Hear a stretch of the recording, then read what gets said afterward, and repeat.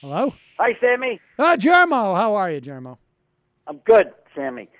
Sammy, you know, um, I, I think what, what I remember most in the like the '60s and '70s was what really hurt liberals was the affirmative action, the ruling with the Supreme Court, and and then the word coming up quotas. Because I remember my father, he just, you know, he, you know, that's discrimination. You're discriminating against me. What do you think about that?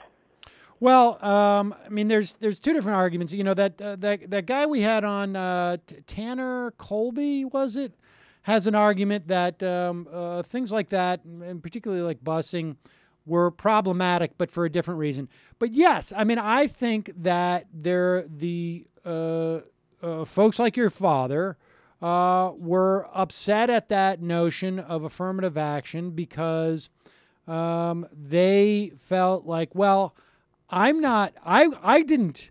I didn't have slaves. I was not uh, responsible for discrimination. You know, uh, institutional discrimination. Why should I, in any way, be punished?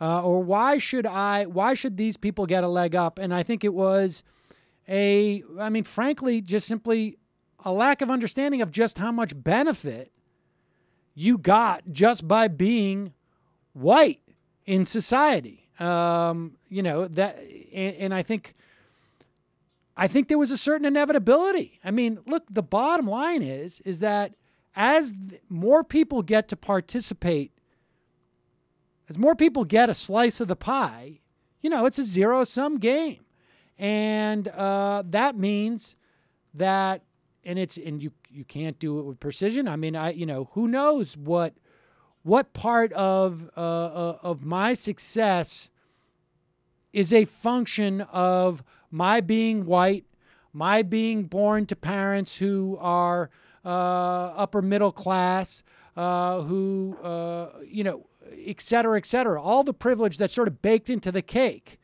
It's it's impossible to know.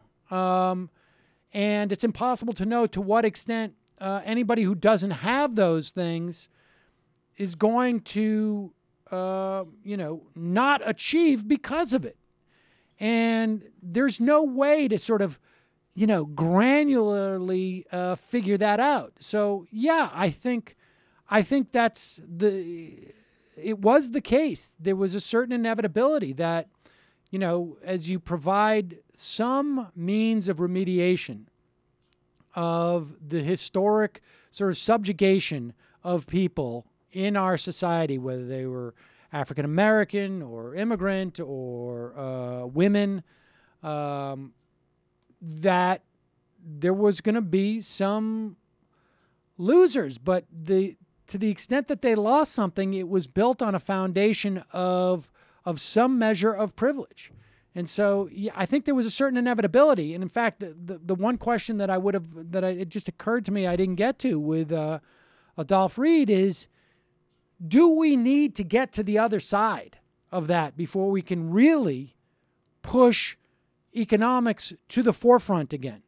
Do we need to get to uh, the point where um, where society has progressed, and, and surely it's progressed in terms of, uh, of social emancipation. But do we need to get to the point where we are just that much more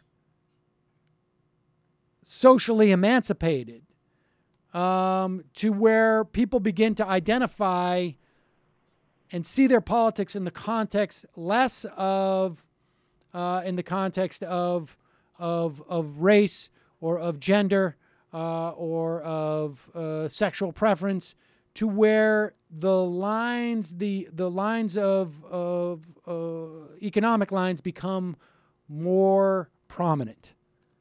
That's the question I forgot to ask him, but I, I know I saved one for the next time he's on. Boy, really interesting and in depth. Huh? There's so much to it. But just real quick, you know what I really enjoy is how women's sports in college and high school how how a law had to be more or less. I, I believe there was a law that said women deserve equal Title 10. opportunity, right? In Title sports, 10. Yeah. and they money, coaches, you know, and they got it, and there was no big uproar about that. Um, yeah, it's true, but point? it's it's. I mean, arguably, well, I mean, uh, you know, it's a little bit less of a zero sum game. Although you know those funds got to come from somewhere, but um, but yeah, I, I, you don't hear people um, uh, complaining about that as much. Uh, you'd hear it more if if it was women. Um, and, and, and there's still some of that. Uh, there, I believe there is some. There, there is some statutes which allow for this. But if women were taking the place of men on these teams, then you'd start to hear about it more.